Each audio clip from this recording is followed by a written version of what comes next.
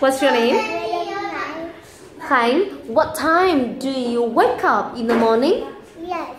No, not yes. At 7. Uh, seven. I wake up at 7 a.m. I, wake up, I wake up.